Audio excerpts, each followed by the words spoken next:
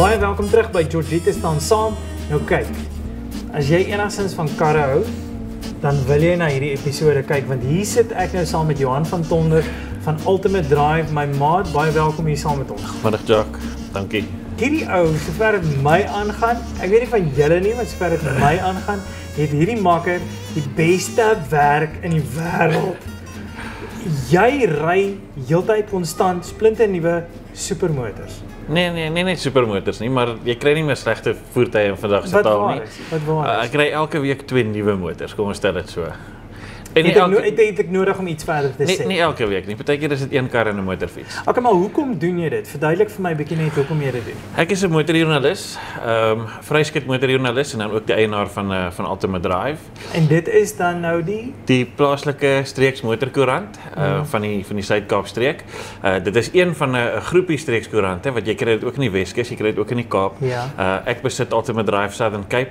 Daar sal op. 'n stadium ook 'n Brede River Valley wees en 'n Oeverberg Mm. en so maar op hierdie stadium fokus ek op die op die Suid-Kaap. op die sykant. En uh, dit is 'n uh, dis my koerantjie en dan dra ek ook by vir verskeie ander koerante, paar tydskrifte en dan is ek ook op uh, drie radiostasies. Maar maar jy beweeg nie net in ons streek nie. Jy's die hele land vol Ja ja. wat jy oralste rondvlieg, rondry om al hierdie verskillende wat noem mense nou in Afrikaans launch. Ek het julle gesê ons gaan ons tale mix. Jy is agter al die launches aan en goeters. Ehm um, woon dit by so jy sien eintlik die land op 'n lekker manier. Ja, dis mediavrystellings. Elke keer as daar 'n nuwe voertuig in die land inkom, dan nooi 'n Ja. fabrikaat motorjoernaliste en dan wys hulle vir ons die voertuie en ons ry hulle rond. Hulle hou dit gewoonlik op baie lekker plekke. So ons vlieg die land vol. Um, ons gaan ry die voertuie op passe en in die Laagveld en in die Kaap tussen die wynlande. En uh, dan kyk ons, weet hoe is die karre? Ons skryf gewoonlik dan 'n uh, 'n artikel daaroor van hierdie is 'n nuwe voertuig. Waar Mhm. pas hy in? Hoeveel modelle is daar? Uh, wat kos hy? Hoeveel engines is daar? En dan so rukkie na dit, dan kry ons die voertuig vir 'n week. Okay. En dan ry ek met die voertuig rond en ek leef met hom. Uh en dan kry jy 'n heel ander indruk want Mm, dit is nie natuurlijk. moeilik, dis nie moeilik om beïndruk te wees met 'n voertuig, 'n nuwe voertuig veral as jy hom op die blok ry. Enigiemand wat in 'n nuwe voertuig ry, dink dis lekker. Ja, ja, ja. Uh, dan as jy 'n week met hom gery en dan kom jy agter, okay, die skooltasse pas nie in die boot nie Mm, of mm. weet iets iets anders dan as jy moet leef met die kar dan het jy 'n meer eerlike opinie oor Ja. die kar. En veral as jy die heeltyd nuwe karre ry, Mm. uh dan het jy 'n baie goeie geheelbeeld van waar pas daai kar in en hoe vergelyk hy met die kar wat jy Dan laas word gery jy het. nou regtig 'n kar snot, né? Nee, glad Oh. nie. Glad nie. Mense dink dat ek ry net die lekker karre, net die vinniger karre. Ehm um, maar ek kry karre, ek het nou eendag 'n Mazda 2 gery wat Mm. ongelukkig pers was en ek het niks daarvan gehou nie. So maar die, van pers maar die voertuig was regtig 'n uitstaand voertuig. Okay. So dit dit hoef nie 'n Lamborghini of 'n Bentley of 'n weet 'n duur Duitse motor of iets te wees nie. Okay, maar as jy nou. as jy 'n voertuig ry in 'n segment en hy staan uit, dan beïndruk hy jou. Dan Ja. dit is jy hoef nie 'n snop te wees en net die duur Okay, nou op daai punt, wag nou, wag nou. Wat is die smartste kar wat jy nog gery het? Dis baie maklik. Ja. Die smart car. Okay, skus, jammer, ek het my voet in daai ene ingesit. Nee, nee, nee, nee, nee, nee, nee. Okay, wag, wag, wag. Nee, maar hoe gaan ek nou vir jou anderste vra? Wat is jou smart? wa- Wat is die grandste kar waarvan jy nog gery? Die een wat die die een wat jou die meeste impress het. Want dit gaan ook nie regtig help. Dit gaan nie help nie want dit hang af van watter segment jy van Ja, praat, maar in want die jy hou van tussen alle die tipe tussen die wat supermotors, ons het al gery Ferrari, Aston Martin, um, Lotus, al daai voertuie. beste. Die werk. uh, verskillende Lamborghinis het ons gery, ehm um, en die Lamborghini Huracan het my baie beïndruk. Okay. Uh nie heeltemal so wild soos die Gallardo wat hom vooraf gaan nie. Ek het op 5 Gallardos gery voor dit.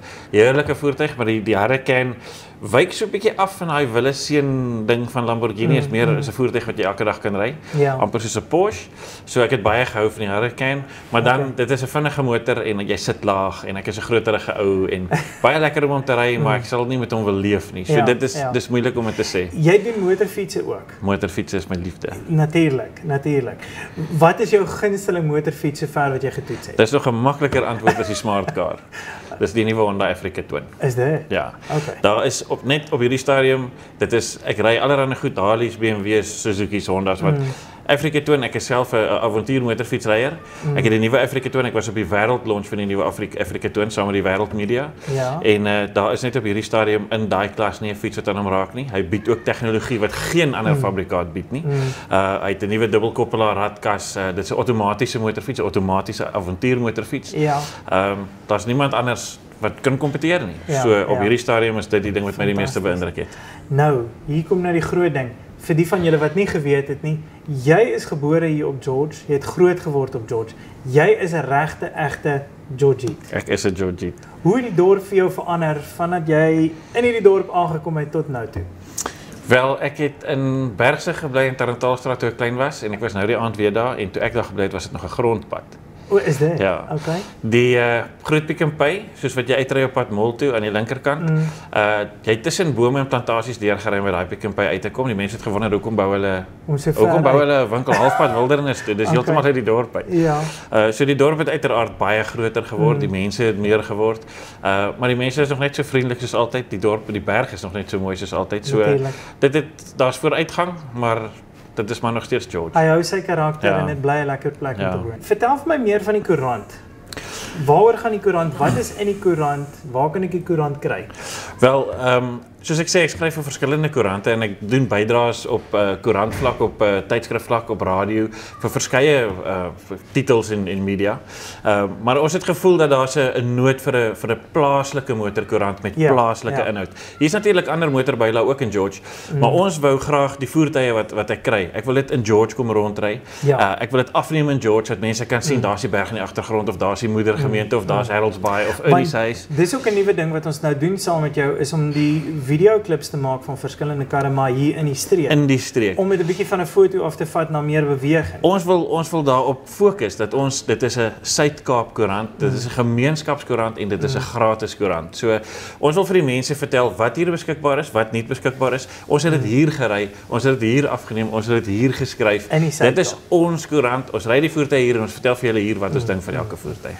En daar het julle dit Ultimate Drive gratis motorkoerant wat jou kan help om 'n baie goeie keuse te maak vir jou volgende motor wat jy gaan koop.